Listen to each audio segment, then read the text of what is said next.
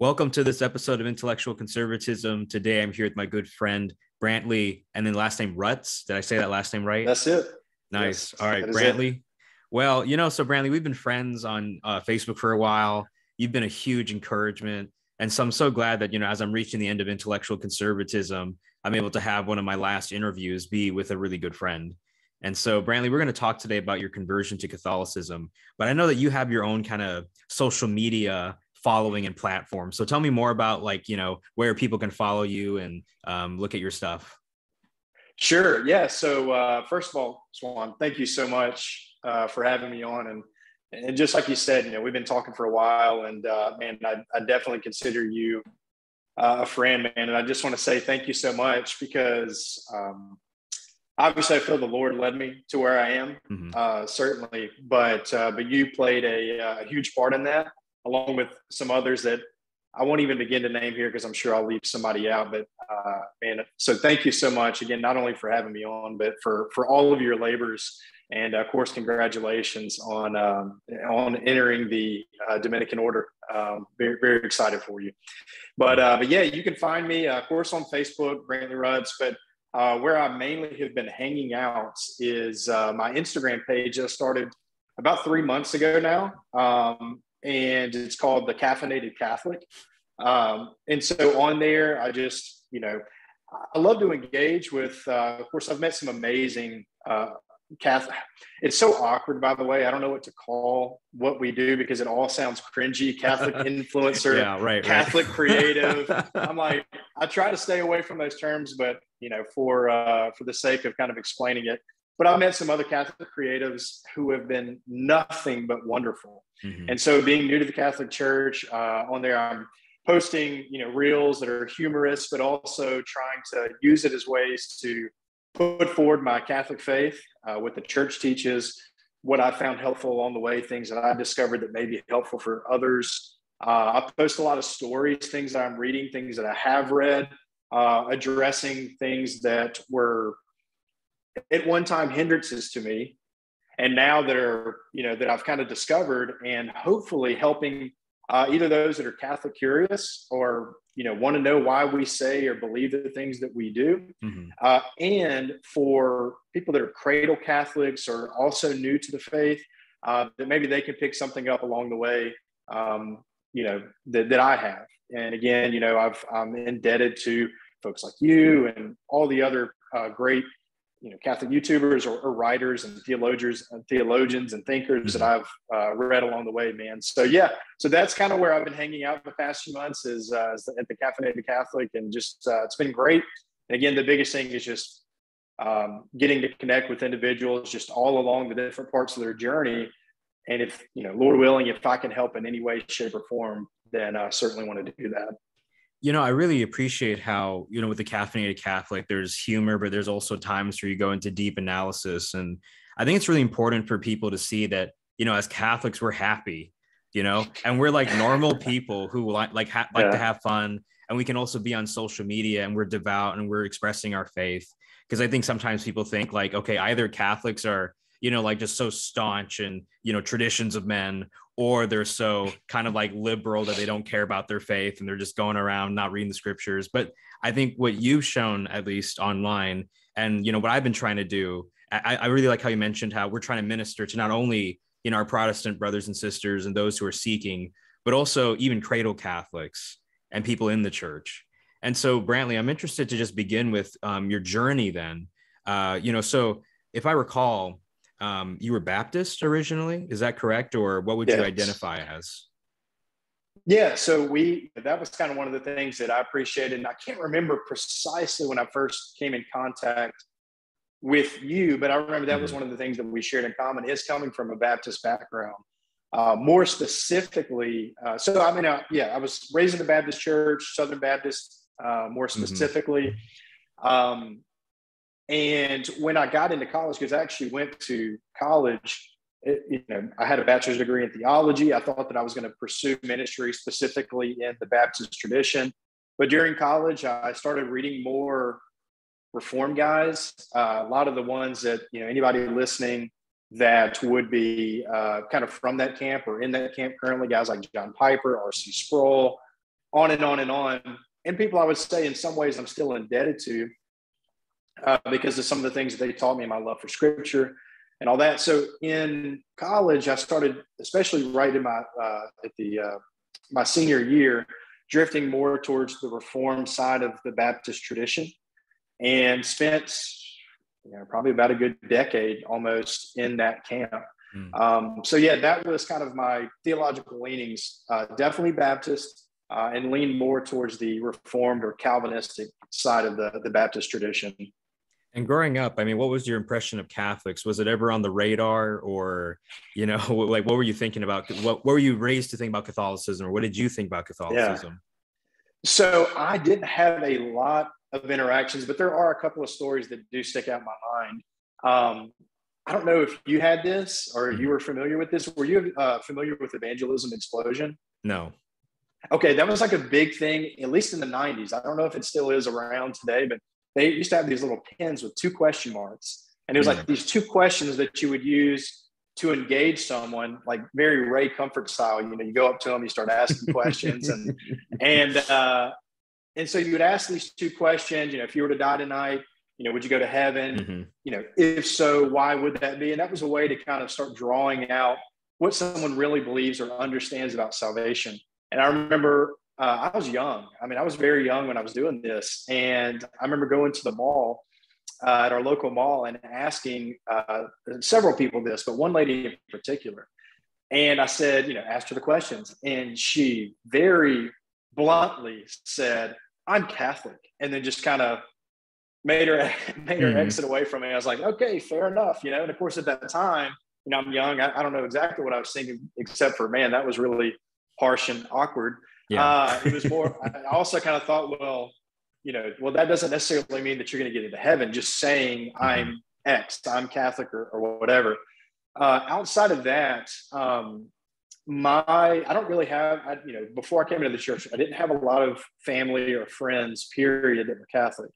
Uh, I had one one one friend of mine in particular, and his wife, you know, and we spent the last several years you know, going back and forth on uh, what, you know, me defending my faith against Catholic Church, that sort of thing. So growing up, I really didn't have a lot of engagement with Catholics. Um, and I, I, will say, you know, I didn't grow up in a fundamentalist type church where you heard a lot like Catholics are going to hell, like Jack Chick, you know, track style. Even though I did have some of those, the old Chick mm-hmm. tracks. I don't know if you're familiar with those. That were very anti-Catholic. Uh, I did. I do remember seeing those, um, but that wasn't really the vibe of our church so I didn't really have, you know, my, my the pastor who I still dearly love, who baptized me. Um, you know, I never really heard anything that I can recall from the pulpit where he was railing on Catholics or anything like that. Um, but I do remember. So my maternal uh, grandfather mm-hmm. uh, was raised Catholic. Uh, he passed away a few years ago. Um, definitely wasn't someone I would say was would be exemplary uh, you know, exemplar of the Catholic faith. Um, so I think that colored the lens a bit, not only for myself, but but really for my, my parents and some of my family. Uh, but his mother, so my great grandmother, mm-hmm. uh, was devoutly Catholic. And I remember when she passed away when I was young. I don't know why this sticks out to me, but I remember my mom saying that she believed that my nana went to heaven mm-hmm. uh, because you know, kind of in spite of being Catholic, mm-hmm. she really she was one of those Catholics who really loved Jesus. You know, so it's like you know, she, you know, almost like I saw that people like that were the exception and not the rule. But mm. you know, to be fair, I never heard a lot of Catholic bashing from my church, my family, but we definitely would have seen Catholics as individuals that needed to be evangelized for sure. Right, right. So then, um, like, what kind of changed, or what was the first moment where you were kind of thinking, like, oh, maybe I don't know, was it like, oh, Catholicism kind of burst on the scene, or was it more like I'm starting to realize maybe there's something wrong with Protestantism? What, what, what, yeah. you know, which one was it? Yeah, so um, it was like this. It was almost like I was um, kind of cutting through a forest, mm-hmm. and the, and I never expected what was on the other end of it, like because I knew what was ever whatever was at the other end. It wasn't Catholicism. Uh, mm-hmm. Uh, but as I continued to kind of cut away the brush, brush with my machete, um, eventually when I got to the end, you know, that's that's where it led me. So if if you ask me, you know, if I would have, you know, I've thought more about this recently. um, because I would have said really it, it really started at the beginning of last year, but I think it went further back than that to probably two or three years ago, where the the ground was kind of prepared and tilled, and I didn't really recognize fully how much it had been prepared until I was all the way in, or at least I was like, you know, this seems to be the direction I'm heading. And, and what I mean by that is this. So around the beginning of last year, um, I it, so the pursuit kind of started off more as a, a, a fatherly pursuit. Um, I've got four kids. You know, I'm married. I got, I got four children, and um, as a Baptist, my children had never been. They never received the sacrament of baptism, and I was very, I was pretty confident uh, in in my Baptist understanding of baptism. However, mm-hmm.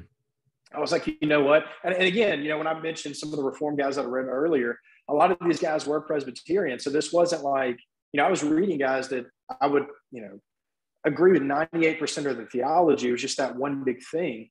So I was like, you know what? I'm going to give another fair shake to this. You know, my oldest was getting ready to turn nine. And I'm like, you know what? I really, no, she was turning eight at the time. Sorry. And I was like, I'm just going to really take another look at this. And so I started reading Presbyterians because, like I said, I was pretty much almost all the way there. I was even looking at Presbyterian churches in the area just in mm-hmm. case. And um, as I'm reading the covenantal arguments, you know, because that was a big thing. There's Baptist covenant theology, there's uh, Reformed covenant theology, and they each have their subtle nuances. And the Reformed covenant theology really began to make more sense because what I saw the Presbyterian authors kind of putting forward is like, you know, Baptists, for instance, or what I would have said is you're making an argument from silence. Nowhere do we see in scripture uh, the command to baptize children. Well, the Presbyterians would say children have always been included in the covenant. Mm-hmm. So we need to we need to you to show us where we're told that they should not be included in covenant, especially. And I don't want to get too into the weeds right now, but especially when you see like Luke 18, you know, children being brought to Jesus, mm-hmm. the disciples kind of stiff arm them, and Jesus says, No, let the children come to me. And it says, even infants were being brought to them, to him. And he blesses them and he says, To such belong the kingdom. Now, that's not a baptism passage, mm-hmm. but it just seemed odd to me, kind of in light of all the other evidence as well. But it definitely seemed odd to me that Jesus would say, Bring them to such belong the kingdom blesses them, and then it goes, "Oh, by the way, in the new covenant, we're keeping them out." You know, it just seemed mm-hmm. really odd. So it's like, mm-hmm. you know, if that were the case, we would need to be told. And so when you kind of when I saw that covenantal lens and that grid being kind of laid on top of Scripture versus the the Baptist grid that I, I so you know for so long placed of it, I placed on it, you know.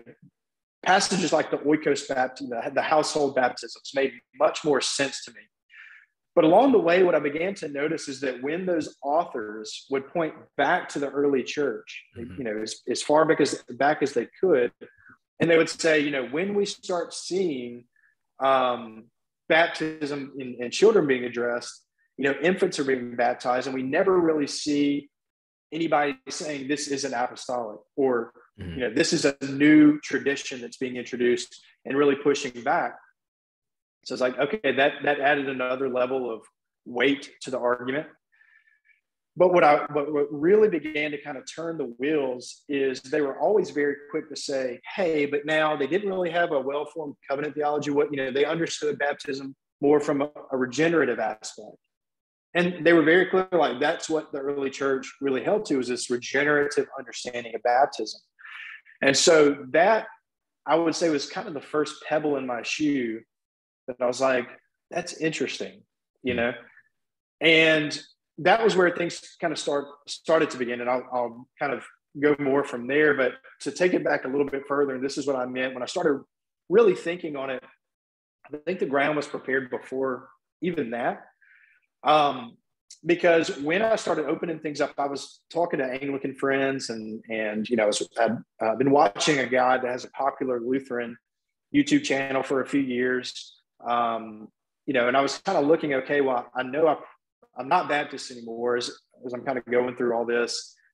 I don't think I'm Presbyterian. I remember reaching out to some Presbyterian friends and they couldn't really in my opinion, sufficiently answer some of the issues I was seeing with, you know, hey, here's what the earliest Christians believed. Mm-hmm. You know, why do you believe this, or why would I, you know, need to believe what Presbyterians believe in light of this? Um, I kind of started putting these traditions like Lutherans and Anglicans and, and kind of everything on the table. Um, for the past few years, I've been watching a, a guy that was Lutheran, and you know, even though at the time I didn't agree with him, I start he started pointing out things like justification mm-hmm. and how different his understanding of justification was than mine. Going, you know, I had this very forensic sense of justification, and you know, he was delineating between you know forensic and ongoing or progressive justification, and you know, my mind, and I even was reaching out to a friend of mine who's a, still, you know, a Protestant pastor, good friend of mine. And I, I, kind of, I was like, man, what do you think about this? He's like, yeah, actually, I, am on board with that. Like, I, I believe his view. And so again, the, the mm-hmm. wheels had started turning like, maybe, maybe I'm getting something wrong. And again, that was you know, a couple of years before all this started really happening. And so from, from baptism, uh, I really started looking to the Eucharist um, and just kind of speed things up a little bit. I mean, I, very quickly, uh, reading, you know, uh, the works of, of, guys like Dr. Brant Pitre, um, looking back at some of the earliest uh, writers, especially when you talk about early writers like St. Ignatius, um, you know, and you start seeing people referring very clearly to uh, the Eucharist as being, you know, the flesh of Jesus, our Savior that was crucified. Mm-hmm. Um, and so uh, I, I was on board with a uh, you know, kind of the real presence view. But again, that didn't immediately say, ah, Catholicism. Um, again, for a while there, I really looked hard at Anglicanism. Mm-hmm. Uh, had some friends that were Anglican. You know, the way I put it is like it seemed like you know they call it. You know, some people call it the, the via media. It seemed like the nice little way where I can have you know some of the liturgy and the beauty, and I could have you know um, I could point to the early church and you know things like regenerative baptism and the real presence uh, but I don't have to tell people at least that I went Catholic. You know, I'm still Protestant. They, like, especially in the South, they're like Anglican. What is that? Like, are you, be, you know, do you have to uh, change your citizenship, or you know, you're still American? Like, what mm-hmm. exactly is going on? You know, God save the Queen. Uh, but you know, I uh, I really started um, looking hard, kind of at Anglicanism, Lutheranism, uh, Orthodoxy, and of course, in my mind at that time, was like, God forbid Catholicism because mm-hmm. I'd spent so many years knowing that Catholicism could not be true. Mm-hmm. And uh, so those are the things that kind of led me along the way. It began with baptism, went mm-hmm. to the Eucharist, and then the final nail in the coffin for me really was um, the papacy. I mean, that was that was it because it's the most distinctive doctrine. And uh, as I've heard it said, and I even said, I think Joe Heschmeyer was the one I heard kind of put it this way but I kind of had my my own formula uh, formulation of this, but but he says it much more succinctly, which is to say, if the papacy is true, everyone should be Catholic. If it's not true, then no one should be Catholic. Mm-hmm. So I was like, you know, instead of spending years uh, trying to figure this out, especially when all of this began, well, I want I need to baptize my children. You know, I didn't want to wait any longer. So that was the thing that really became the nail in the coffin for me.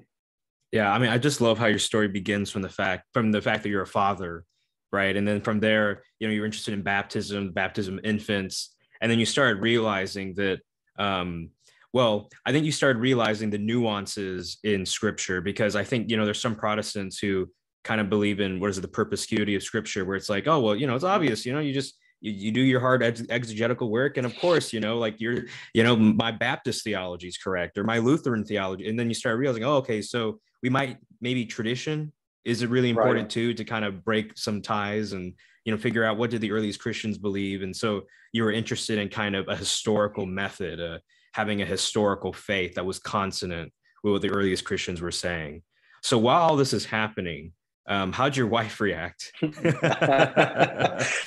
so um, man i thank god for and, and you you probably you already know this but you know, my entire family we all entered the church at the same time. My children were actually baptized the week before my wife and i were confirmed. So it was just, it was a joyous time.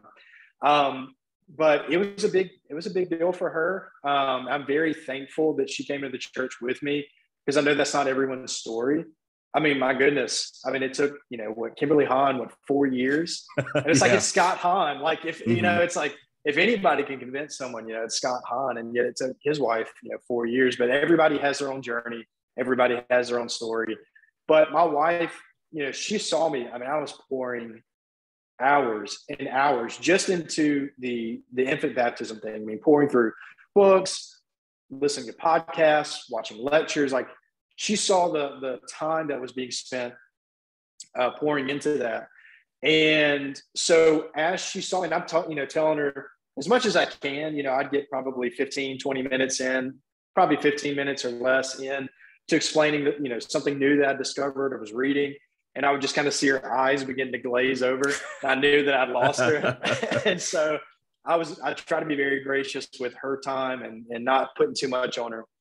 But she, you know, she kept, she just kept saying like, this makes sense. Like it really does make sense. Mm. But just, you know, when I kind of, kind of got to the point where I knew I wasn't Baptist anymore, um, that was a big enough deal for her.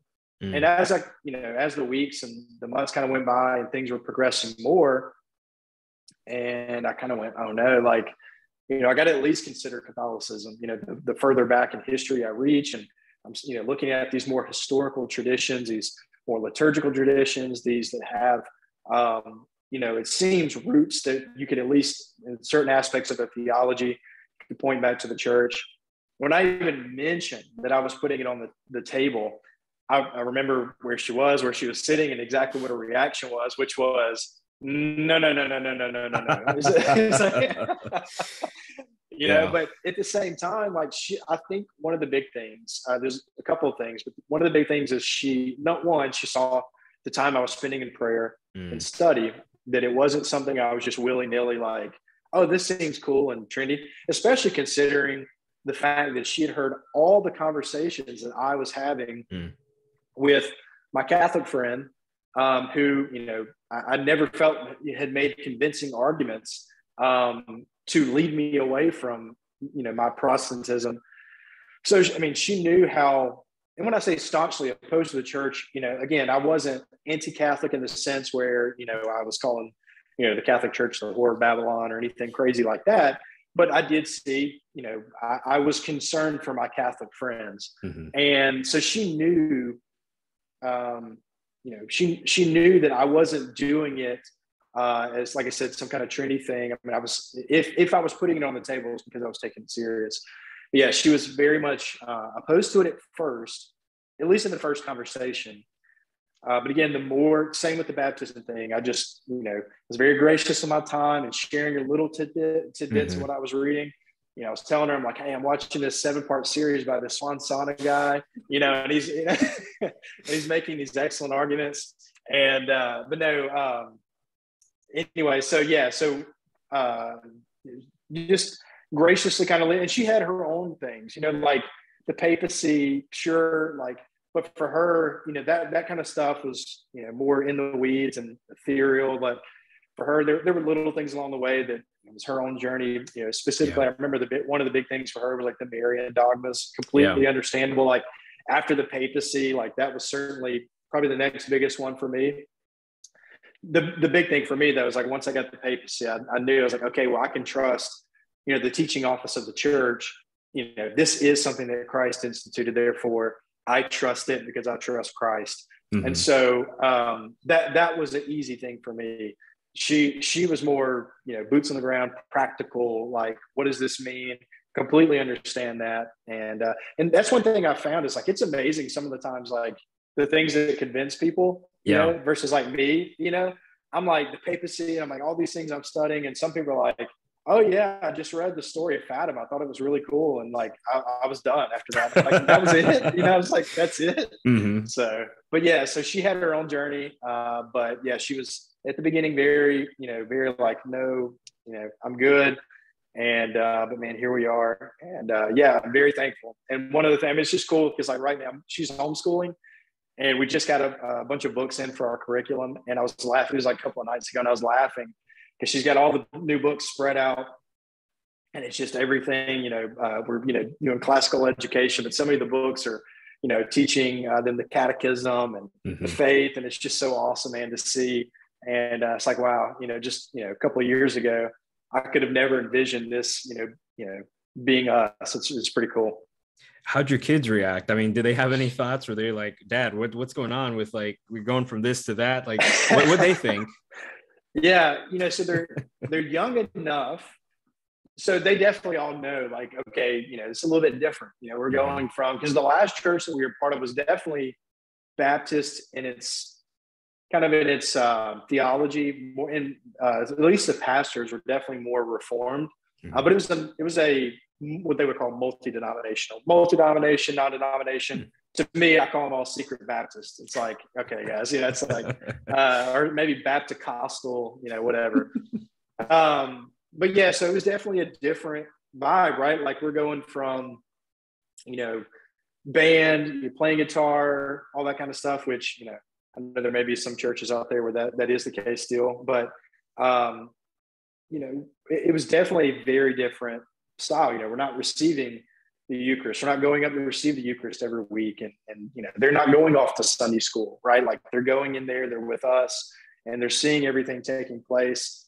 Um, they're seeing us weekly receive uh, the Eucharist, and you know, so they they definitely, you know, even our youngest who's two, like they they kind of see that something's different, especially the oldest. Um, well, because there were so many new things, and now we're talking about Mother Mary more, you know, mm-hmm. and our, my wife and our conversations, and I'm praying the Hail Mary with them. So I'm, you know, there's there's definitely conversations like that that have happened and I've always said, by the way, that you know, if you want to know that you know your theology well, try explaining it to a six-year-old. Right. You know, mm-hmm. when they start asking you about the Trinity, and you have to put it in terms, or you're not allowed to use terms like homoousios, and you know, and it's like, okay, right. how do I explain this? You know, and uh, and then of course you could pull out a three-leaf clover, but then you get into uh, yeah. You know, partialism and you know i don't know if you've ever seen that satirical video but i know oh, uh, oh yeah the, oh the, yeah yeah, yeah. so anyway, so but you know, getting to explain to them like why, you know, why we're going to this church now versus the other. Plus, they're you know, mom and dad are going to RCIA, you know, every week. Like we're talking about confirmation. We're talking about them getting baptized. So there was a lot that was going on that was new for them, you know. And we're starting to decorate our house, uh, you know, with pictures of you know more icon iconography and Mary and and, and saints, and so you know, so much going on and so getting to explain to them why we're doing that and uh, yeah so definitely a lot of conversations are had but it's so funny and it's so cool now because one of the things that we talk so much to them about is the beautiful gift that we get to receive in the blessed sacrament in the mm-hmm. eucharist. And so they love talking about the eucharist. As a matter of fact this morning my son had he put on like this little um, it was almost like a like a vestment, like he had, he was pretending it was like a vestment for, for the priest, and he had a candle like a golden candlestick uh, holder, and he was giving it to our oldest like it was you know like she was receiving the, the Eucharist. And they love playing like they're oh. you know giving each other the Eucharist. It's it's awesome. So yeah, it's it's been great. Um, you know, we've always you know tried to teach them the faith but the one thing that I love about our Catholic faith is how tangible it is. Mm-hmm. You know, confession, the Eucharist, like it's so tangible. You know, the prayers, the liturgy. You know, uh, one of the things that we started doing, I, I pray the liturgy of the hours. So at night we do the night prayers together. You know, I bless them with holy water. You know, so it's just it's just so cool to to get to see those tangible signs and explaining to them. You know, why do we do this? Uh, and it's just a, a great way um, because I know that you know these things are more caught than they are taught. And so when they see us living out our faith and they see these tangible ways that we practice our faith, um, of course, my prayer as a father is that these things stick with them throughout the remainder of their life. So yeah, it's it's been great. My last question for you, Grant Brantley, is just um, you know for those who are investigating the Catholic Church and they have questions or hesitations, do you have any advice or anything that you'd want to tell them? Like, you know, maybe you wish you had known during your journey. Yeah. Um, you know, I'll say one thing, uh, probably the biggest, and I, I really would say maybe the only regret is like, let's say that um, you're someone who's maybe pretty convinced, or at least has seen enough to be like, I've got to take this seriously, and you're already involved in the church, I would encourage you um, to try and, and make sure that uh, your pastors are involved as much as possible. Like I would, I would be very upfront and, and honest and clear about it because maybe they can give you some things like, you know, hey, have you thought about it this way? And it's and it's a way to kind of really think through your faith to kind of um, maybe reinforce what you've discovered in the Catholic, in, you know, in, in your journey to the Catholic Church. Um, I had, and the reason I bring that is I did have one pastor. Uh, there was a good friend of mine. He was at another campus though of the church that I was at, and so he and I were having these conversations. But I really did not have these conversations with the pastors at the campus that I was at, who were I considered friends and were, um, you know, involved. You know, were, were you know more involved in my spiritual growth in my spiritual life um, that I I kind of sprung it on them late in the game. Mm. Really caught them by surprise, and that was definitely a regret that I've had. Thankfully, I've been able to squash that, and we're on good terms. And this, like one of the pastors, again, who I consider a dear friend, like we've had lunch and, and breakfast several times since then. So everything's good there. So that's one encouragement I would have. Um, but yeah, I would just say the biggest thing is really, you know, obviously read, study, look at it from both sides, but pray. Um, that was one of the biggest things for me, especially as a husband and a father. Uh, I was terrified that I would lead my family, you know, because I'd spent you know, however many years believing that the Catholic Church could possibly be a false church because they preach a false gospel. Mm-hmm. So that was terrifying for me, thinking that as you know, God has given me this leadership role in my home, um, that I would ever lead my family down a path that could be destructive for them, for their souls, uh, not just my my own soul. So pray, study, read, and um, yeah, I mean that that's the biggest thing. It's nothing groundbreaking, mm-hmm. uh, but I would certainly um, you know say that you know take your time. You know, uh, for me, I definitely kind of like I said earlier, I kind of felt this like I need to figure this out quickly because again, I really wanted my children to receive the sacrament of baptism. It's just a matter of like where. Um, but yeah, just you know, continue to to talk through it um, with with others who are kind of on both sides of the, of the fence. That was one thing that I did, and uh, and just pray, let the Lord lead you. Well, Brantley, that was lovely, and uh, I just want to thank you for coming onto my channel again. Um, you know, as I enter the order, um, you know, I, I really want to keep in touch with all my friends and all the people have been huge sources of encouragement. And so, Brantley, you know, keep in touch. All right. I want to, I want to know what's going on in your life, how your family's doing. Um, you know, and it'll make certainly make at least one Dominican very happy. awesome, man. Thank you so much. And again, I can't thank you enough for for all that you've done for the church.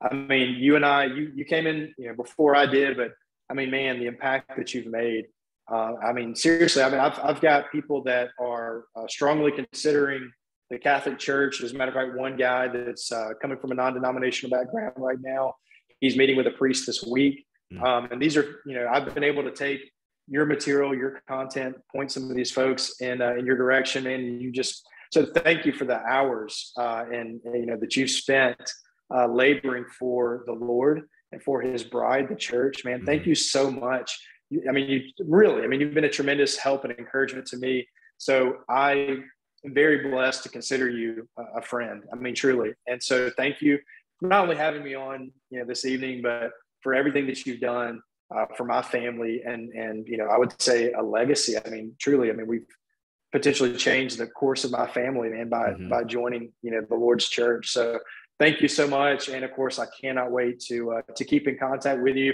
you know know how to be praying for you. Um, mm. Certainly. Yeah, Brantley. In the end, for him, it's all worth it. Amen. Amen, brother.